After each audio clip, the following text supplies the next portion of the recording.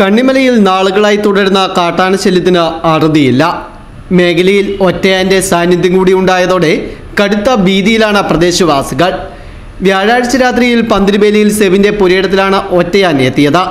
രാത്രി ഒൻപത് മണിയോടെ പുരയിടത്തിൽ നിന്നും പോത്തിനെ അഴിച്ച കൂട്ടിൽ കെട്ടുവാൻ പോയ സെബിൻ ഒറ്റയാന്റെ മുന്നിൽ അകപ്പെടുകയായിരുന്നു.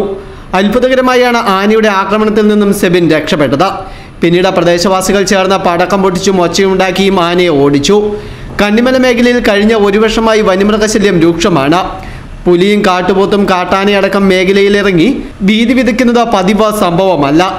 പ്രതിഷേധങ്ങൾക്ക് ഒടുവിൽ മൂന്ന് കിലോമീറ്ററോളം സൗര വേലികൾ തീർത്ത് സുരക്ഷ ഒരുക്കിയെങ്കിലും വേലികൾ തകർത്താണ് കാട്ടാനക്കൂട്ടം വീണ്ടും ജനവാസ മേഖലയിൽ ഇറങ്ങിയിരിക്കുന്നത്.